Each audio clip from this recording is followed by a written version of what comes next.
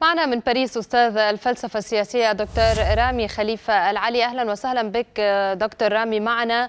إذا الرئيس ماكرون هو الرئيس لدولة أجنبية الغربي الوحيد الذي شارك في جنازة الرئيس تشادي. إلى أي مدى برأيك الدعم الفرنسي لهذه العملية الانتقالية يعني مهم خاصة في ظل استمرار الحركات المتمردة بتهديدها؟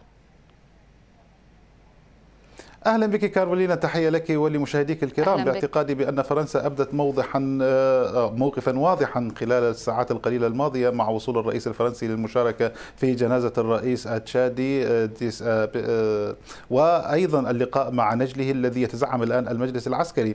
تعلم فرنسا بأن النظام السياسي الآن والأوضاع السياسية والأمنية والعسكرية الحقيقة في وضع لا تحسد عليه وتعلم بأن هنالك الكثير من الأخطار التي تتهدد النظام التشادي. الشادي المدعوم فرنسيا الحقيقة طوال العقود الماضية وبالتالي ذهاب الرئيس الفرنسي للمشاركة في مراسم التشييع وكذلك لقاء نجل الرئيس والذي الآن هو محمد إدريس تيبي الذي هو المؤهل لأن يترأس هرم السلطة التنفيذية في تشادي في تشاد. وبالتالي كل هذه إشارات واضحة بأن فرنسا ملتزمة بدعم هذا البلد ودعم النظام السياسي الانتقالي بالرغم من كثير الانتقادات في الدول الغربية إلى ما يحدث الآن في تشاد. تعلم فرنسا بأن هنالك هنالك ثلاثة أطراف ربما تمثل خطرا على النظام السياسي الجديد إذا شئت كارولينا الطرف الأول وهي الجماعات المسلحة في شمال البلاد والتي هددت والتي أوقفت مؤقتا إطلاق النار ولكنها هددت باجتياح العاصمة نجامينا خلال الأيام القادمة. الطرف الثاني هي الجماعات الإرهابية التي تحاربها فرنسا أصلا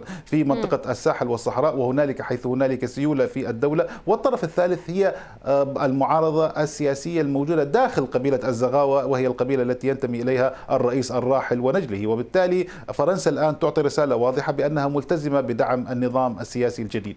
هل هذه الرسالة كافية دكتور رامي؟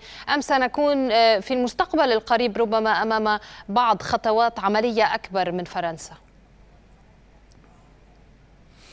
اولا هل هي كافية باعتقادي أنه إلى الآن إلى حتى الآن فرنسا تقوم بما هو مطلوب منها من الجانب التشادي لكن الأمر مرهون أيضا بالقيادات التشادية والقيادة الجديدة. إذا ما كانت تستطيع أن تمسك زمام الأمور وتستطيع أن توجد تفاهم اولا على مستوى القبيلة وعلى مستوى العائلة طالما أن هنالك تغلغل في مؤسسات الدولة وهنالك إمساك بالمفاصل الأساسية. وبالتالي على الرئيس الجديد رئيس المجلس العسكري أن يوجد تفاهما ما بين أطراف قبيلته بالدرجة الأولى. ثم المسألة الثانية هو ترتيب الأوضاع الأمنية والعسكرية وبالتالي فرنسا هنا يمكن أن تلعب دورا أساسيا. ما الذي تستطيع فرنسا أن تقوم به؟ الكثير الحقيقة. أولا الدعم السياسي. فرنسا كما تعلمين كارولينا نافذة سياسيا في تشاد وفي دول الساحل والصحراء بشكل عام وبالتالي لديها نفوذ عسكري نفوذ سياسي ونفوذ أمني في هذه المنطقة. كذلك لفرنسا تأثير على دول الجوار الذين يمكن أن يساندوا تشاد في المرحلة المقبلة. أيضا لفرنسا وجود وتأثير على